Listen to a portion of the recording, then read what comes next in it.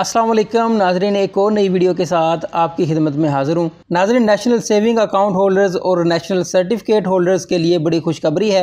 Budget से पहले मैंने आपको बताया था कि गवर्नमेंट इनके प्रॉफिट रेट में इजाफा करेगी तो वो खुशखबरी आ गई है।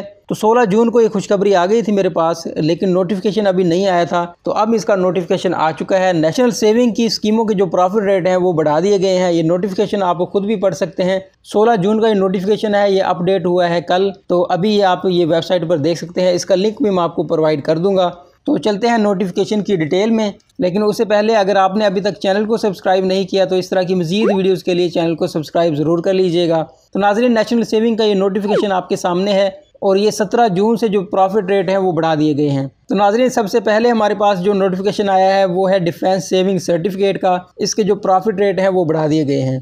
इसके जो प्रॉफिट रेट है उसका मुकम्मल चार्ट आपके सामने है। आप इस सर्टिफिकेट के अंदर अपनी जो इन्वेस्टमेंट है वो पाँच सौ रुपये से स्टार्ट कर सकते हैं। एक साल के लिए अगर आप पाँच सौ रुपये इन्वेस्ट करते हैं तो पाँच सौ बीस रुपये आपको वापस मिलेंगे। इसी तरह अगर आप दस लाख रुपए इन्वेस्ट करते हैं एक साल के लिए तो एक साल के बाद आपको दस लाख चालीस हज़ार रुपये वापस मिलेंगे। और इसी तरह अगर आप 10 साल के लिए 10 लाख रुपए इन्वेस्ट करते हैं तो आपकी जो टोटल अमाउंट होगी, वो 24 लाख पचास हज़ार रुपये होगी। तो इसकी जो परसेंटेज है, वो भी आपसे शेयर कर देता हूँ। जो इसकी परसेंटेज है वो बनेगी 9.37 परसेंट आप यहाँ पे नोटिफिकेशन पढ़ सकते हैं। परसेंटेज के हवाले से भी नोटिफिकेशन आया है।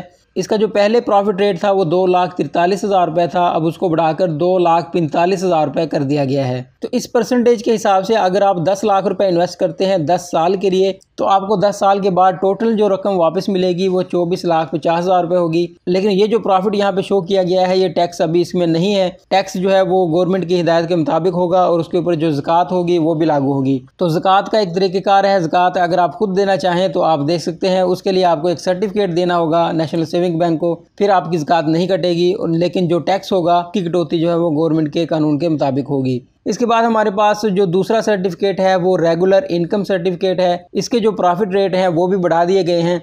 इसमें आप मिनिमम जो है वो पचास हज़ार रुपये से इन्वेस्ट कर सकते हैं और इसका जो प्रॉफिट है वो मंथली बेसिस पर मिलेगा, आप यहाँ पे पढ़ सकते हैं। तो पचास हज़ार रुपये इन्वेस्ट करने पर आपको तीन सौ पैंसठ रुपये मंथली मिलेंगे। अगर आप एक लाख रुपये इन्वेस्ट करते हैं तो सात सौ तीस रुपये मंथली मिलेंगे। तो इसी तरह अगर आप इसमें दस लाख रुपए इन्वेस्ट करते हैं तो मंथली बेसिस पर आपको सात हज़ार तीन सौ रुपये प्रॉफिट मिलेगा।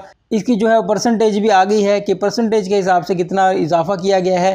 तो आप यहाँ पे पढ़ सकते हैं, सत्रह जून का जो नोटिफिकेशन है, उसके हिसाब से आठ इशारिया सात छः परसेंट इसमें इजाफा किया गया है और मंथली जो है वो सात सौ तीस रुपये हो गया। तो यहाँ पे आप पढ़ सकते हैं, सात सौ तीस रुपये मंथली बेसिस पर एक लाख रुपये इन्वेस्ट करने पर मिलेगा।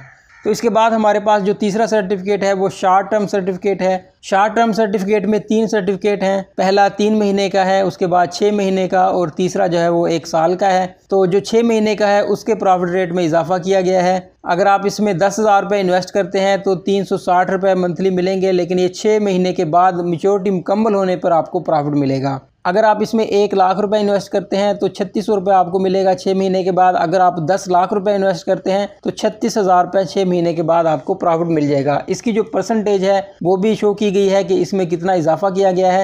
ये आप परसेंटेज पढ़ सकते हैं। सत्रह जून का नोटिफिकेशन इसका परसेंटेज के हिसाब से भी आया है कि ये आप देख सकते हैं सेवन पॉइंट टू परसेंट के हिसाब से बढ़ा दिया गया है। तो ये तीन सर्टिफिकेट थे जिनका नोटिफिकेशन हमारे सामने आ चुका है।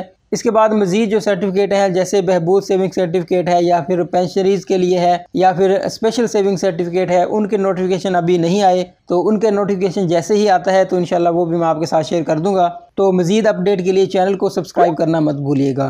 तो आज के लिए इतना ही, मिलते हैं नेक्स्ट वीडियो में, अपना बहुत ज़्यादा ख्याल रखिएगा। अल्लाह हाफिज़।